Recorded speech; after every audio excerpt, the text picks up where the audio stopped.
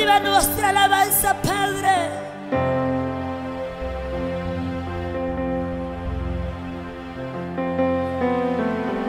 Ayuda a tu pueblo, Señor. Llena cada vida